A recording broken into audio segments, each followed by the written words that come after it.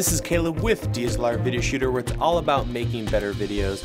And part of making better videos is making sure you have a place for all the footage, files, and documents for your clients, for your YouTube channel, or whatever you actually shoot. And today's video is all about that topic, and this is actually a small section of the corporate video guide, actually in the pre-production section where we go over and look at Corbyn's uh, kind of setup for asset management. And we're going to talk about some software that he uses, how he goes about dealing with that, Dropbox integration, and a bunch of good stuff. So without further ado, let's go ahead and take a look.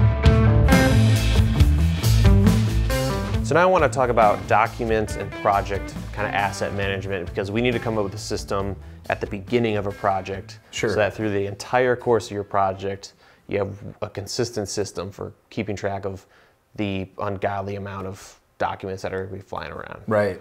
So I came across Post Haste, uh, I don't know, a year or two ago. I don't Right. remember, but I kind of had a system already set up and everything's dated and labeled, and I had a folder structure, which makes swapping drives with uh, editors and all that great. But um, we can go here and check out Post Haste. Sure. And if you want to check them out, you can go to digitalrebellion.com. That's where you can pick it up. It's free, which is amazing. So I learned, figured this out from Corbyn. I didn't know it existed. It's Yeah, amazing. They should charge. You guys should charge. Yeah. because it's great. Um, so what's really great is you can set up these templates, Sure. and I just have one for Frank and Harvey, and you can you can set it up however you want. So how I set up projects is probably different from everybody, but I Mm-hmm. number everything here uh, with the project files. So And the reason you're numbering it is no matter when how you pull it up in Finder, it's going to keep it perfectly organized. So the first folder is always projects folder. So the project, project files. file and footage and audio and exports are always kind of need to be at the top. So that's why I started numbering them. Um, and so this is the template that it creates every time I start a new job. So when I go over to new project, you know, you've got they have preset one, motion graphics, photographer, video editing, and the video editing one is the one I started with, and then I just kind of built it around my needs because what I do is I label everything with F at the beginning for Frank and Harvey. Sure. Because sometimes you're doing stuff for other people. Yeah. So for Frank and Harvey jobs, it always starts with an F, and then the date starting with the year. I organize it by year, Okay. then month, then day. It just it makes when you're going through your raid, it just works Sure. that way. And then I'll do the project name, which in this case is Growth Dimensions, which is a client of mine. And then you simply just hit um, create project. And as you see, like if I change, I have it set up in the template to automatically change the date. But if Right. I if I want to change the date, you'll see what it does is it changes At the bottom of the At the bottom. preview. Cool. and so that's what you're going to get. So if I hit create project, it's going to ask me where do I want to put it. And I'm going to put it, I'll just put it on the desktop for now. Put that, uh, you can always save the location at the bottom, which is slick. yep. Um, and then I usually just put that right on a drive. Um, and then one thing that I do is um, I take, you know, you've got your footage here, your project files, and it ar- automatically will create a, a Premiere. Which is so cool to me. You don't have to. Yeah, and I think it does Final Cut fill it. as well. I'm not Okay. sure. Um, and then you've got all your stuff in here. You can put your client files in there, your production documents, so you can put your scripts, everything in one place. I like to go an extra step when I do um, the production documents. I actually like to keep them in a client Dropbox Okay. because then when I'm out and about, I have access to um, rough cuts, scripts, um, all that sort of stuff. So That's scripts great. will be we use Google Docs. It's just it's free, it's easy. Sure. Why not? And um, then we'll export them as PDFs to give to the client or a Word document. But then I also put them in Dropbox because um, as a producer, I, I want to be able to have everything with me at all times. So rough cuts always go in Dropbox.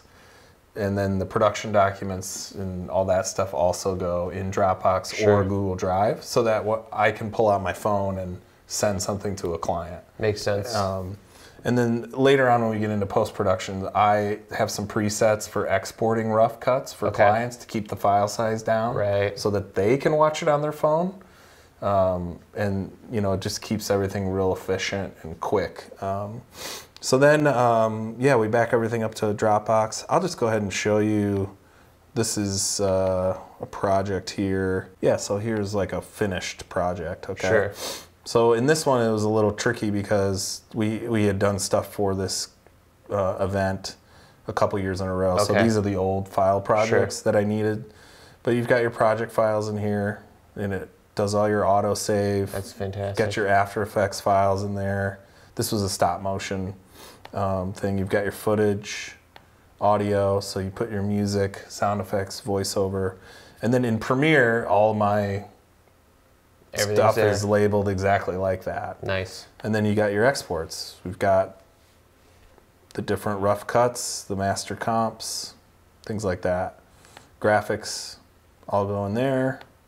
Finals aren't there because I haven't put them there yet. and then, you know, stills all go here. Yeah, that's good stuff. And there's there's um, everyone does this differently.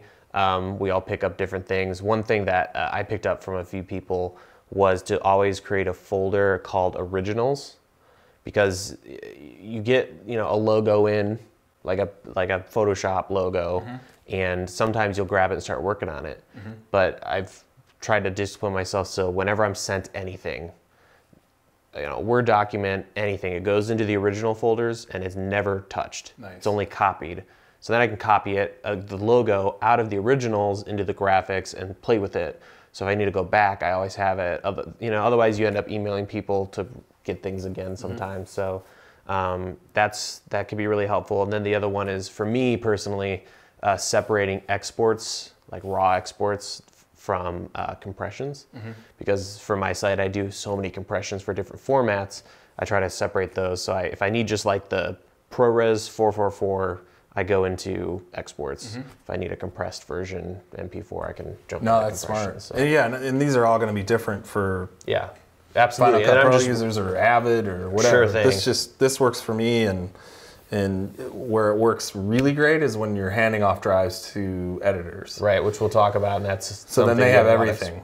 And Yeah. So a lot of people may be wondering why are you doing this in pre-production? Well, if I do this right off the get-go, I take this drive with me to the shoot, and then everything's already ready and labeled. And so if there's a DIT on set, they know where exactly where to put the cards. Mm-hmm. They know exactly where things are.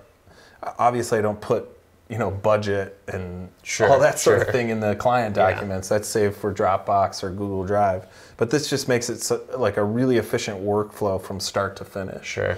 And I encourage everybody to figure out what works for you on that because as you grow as a company, I'll get calls that are like, "Hey, you remember that shoot we did in 2012?" And I'm like, "I don't remember, but I we have it." And so I have to go to the RAID. Right. And because of the file naming structure that we have, it's really easy to find because it's all by date. Yeah, uh, that's gold. So hopefully that gives you guys some ideas, and uh, you probably already have some, you know, methods that you can adapt that to. But uh, this is critical. You got to have this figured out. Yeah, and I'm like extremely disorganized and messy at times, but in this arena, Right. I'm like really disciplined Yeah. and really organized because it has bitten me in the ass before. Yeah. When a client asked for something and I couldn't find it. Sure. And you can find everything but the thing that you're looking for. Exactly. And so with this, um, you know, sort of structure, it makes it sets my mind at ease. And with post haste, it makes it automated, Sure. which is fantastic. Yeah. So hopefully that's given you some asset management ideas. I would love to hear your workflow, how you organize assets, footage, files, and documents. If you'd like to learn more about the Corporate Video Guide, check the link in the description. You'll be able to watch the trailer and learn more about it there. Thank you so much for watching. And as always, you can watch new videos right here at DSLR Video Shooter every single Tuesday and Thursday. I will see you guys next time.